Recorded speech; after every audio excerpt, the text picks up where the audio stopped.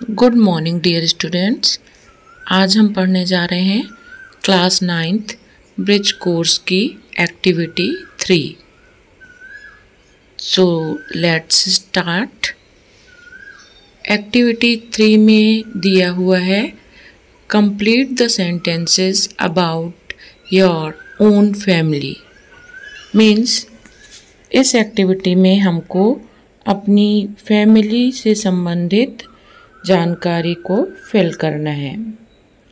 तो जैसा कि फ़र्स्ट सेंटेंस में दिया है देयर आर और बीच में है gap people in my family तो आपकी फैमिली में जितने लोग हैं, उनकी संख्या यहाँ पर लिखनी है।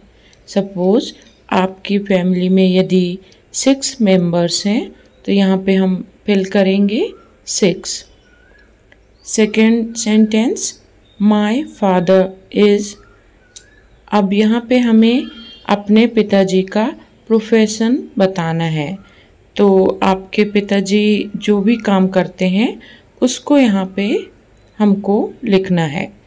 जैसे कि my father is a farmer यदि किसी के पिताजी किसान हैं तो वो लिखेंगे फार्मर यदि आपके पिता डॉक्टर हैं तो आप लिखिए डॉक्टर, टीचर, इस प्रकार से आपको यहाँ पे फिल करना है।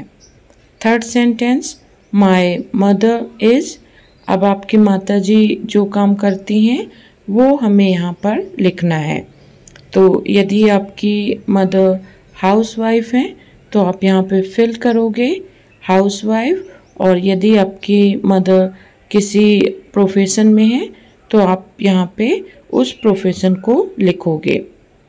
Then next sentence we eat and gap है बीच में फॉर फ़ूड तो हम खाने में generally wheat flour rice vegetables pulses इत्यादि खाते हैं। तो हम यहाँ पे फिल करेंगे।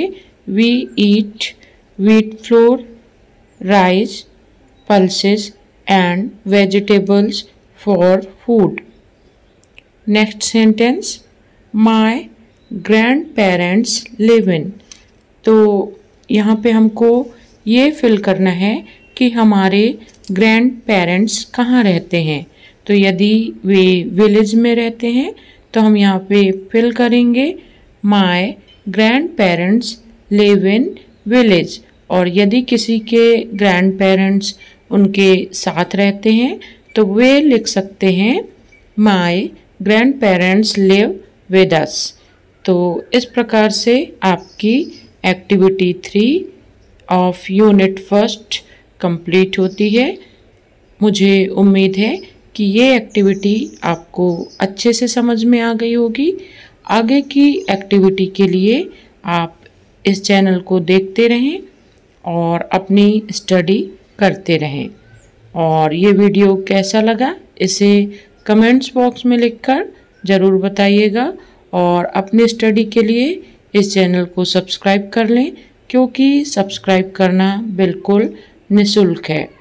हम जल्दी मिलते हैं नेक्स्ट वीडियो में। Till then keep on study have a wonderful time